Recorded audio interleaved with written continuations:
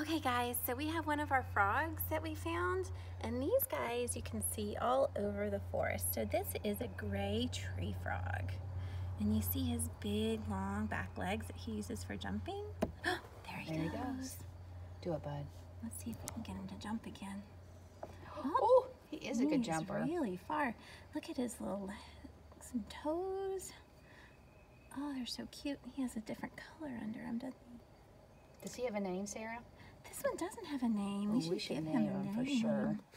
And he has that coloring, so when they're on the trees, they're kind of hard to see. They can blend right in. And these guys can get really, really small in a tree. They kind of like squeeze into the middle, so they're pretty hard to spot. So keep your eyes out. They're out there for sure. And if you think of a good name that we should name this little guy, share it or post it in the comments, and that way we can pick a name for our little tree frog friend. Mm-hmm. Thank you, tree frog friend. Good jumping.